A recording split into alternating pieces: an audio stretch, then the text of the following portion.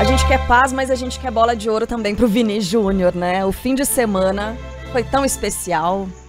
É, e aí tá todo mundo apostando. Olha a cara do Megali. Não, tô esperando. Que cara é essa? O Megali tá assim. Não. É contra o Vini Júnior essa cara, Luiz Megali. Imagina. Não, a gente tá aqui esperando você soltar a Eu tô, voz. tô Aqui, ó. discutindo com o ouvinte aqui. Ô, Killing, que fim de semana especial foi pro Vinícius Júnior e pros fãs de Vinícius Júnior, né? Exatamente. Mais uma vez ele brilha numa final de Liga dos Campeões. Em 2022 também fez o gol que deu o título do Real Madrid para cima do Liverpool. Fez o segundo do Real Madrid em cima do Borussia Dortmund. É o jogador mais jovem a fazer gols em duas finais de Liga dos Campeões. Passou o Messi e o primeiro brasileiro a marcar em duas finais de Liga dos Campeões. E é claro que, como brasileiros, a gente tem um olhar mais atento ao Vinícius Júnior. Mas eu também me preocupei em olhar o que tem falado a imprensa europeia, porque o mundo todo vota né, no prêmio de melhor jogador do mundo. E o pessoal tem falado que o Vini é hoje o favorito a levar a bola de ouro. Tem repercutido bastante aqui também aquela caneta que ele deu no Ryerson.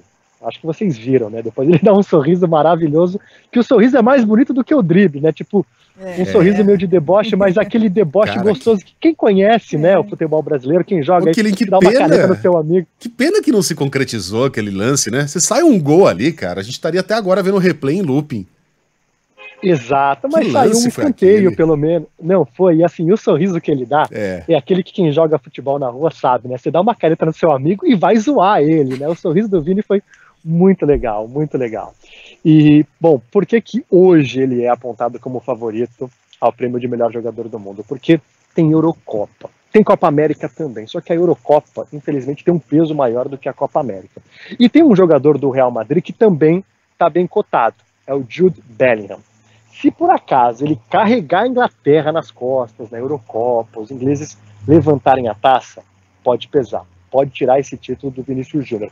O Brasil não leva o prêmio de melhor jogador do mundo desde 2007, com o Kaká.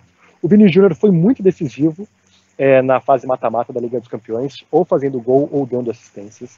Foi um cara de destaque na final da Champions. Eu até estava falando com o Megali, com o Coutinho, né, durante a cobertura da Champions na sexta, na quinta, no sábado, que eu estava torcendo para o Real Madrid por conta do Vini. Queria que ele fosse eleito o melhor jogador do mundo, mas para isso ele precisaria de uma boa atuação na final.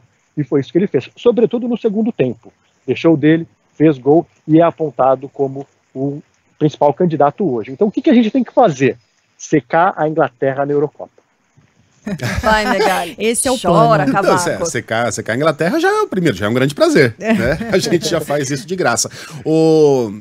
Não, eu só, eu só, só como falei pra Carla fora do ar aqui, vou botar um pouquinho o pezinho no chão.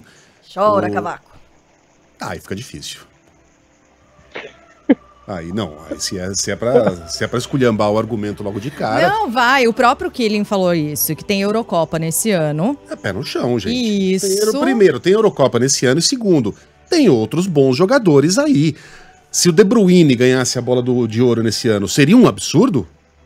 Sim. Se- ah, Sim. Se o, se o Haaland machucado, ganhasse a bola de ouro, seria um absurdo? machucado. O Haaland ele foi bem aquém do esperado, né? Não- Foi. Não avançou. Assim, o que, que conta muito, né, Megali, para prêmios de melhor jogador do mundo, né? A Copa do Mundo, né? Tanto Exato. que o Modric foi campeão, o Canavarro, né? Liga dos Campeões, né? É importante ter esse papel de destaque e, e a Eurocopa. Mas, por exemplo, hoje, assim, mesmo o Mbappé, não tem condição. O Harry Não, o Kane Mbappé, fez acho que concordo. 42 gols, O, o 43. Kane, o Kane não seria absurdo ganhar a bola de ouro esse mundo. O que eu tô dizendo é o seguinte: eu, eu vou, vou muito em rede social e eu vejo pessoas escrevendo assim: se o, o Vini não ganhar a bola de ouro esse ano, é racismo. Não, menos.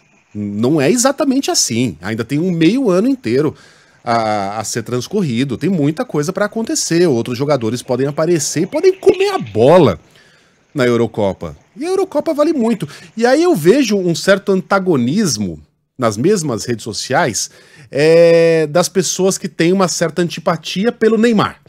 Eu tenho antipatia pelo Neymar, especialmente agora que o Neymar tá lá brigando com a Lona Piovani, falando bobagem sobre praia. Ah, então a- a- o cara quer mais que o Vini ganhe para dar um chupa Neymar do que por merecimento mesmo, misturando um pouquinho as coisas. Então eu só, eu só, só tô botando o, pé no chão aqui. Eu também acho que o Vini é o melhor jogador do mundo até agora. Mas o ano ainda não acabou. É, para não criar muita expectativa e depois achar que nós somos perseguidos, nós somos brasileirinhos, que o mundo inteiro é, não, não quer que a gente ganhe, porque desde que não é assim. Tem outros jogadores grandes concorrendo. Também acho que o Vini merece, mas não acho assim, tem que ganhar, senão é um absurdo. Fecha tudo. É só isso.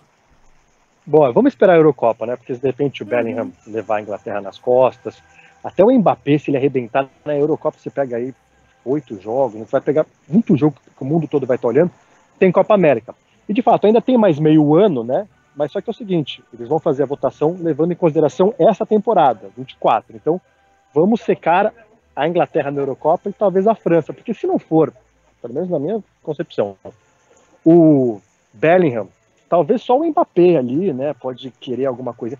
Mas o Harry Kane, hum, acho que não, acho que não. Não, não ganhou o campeonato alemão.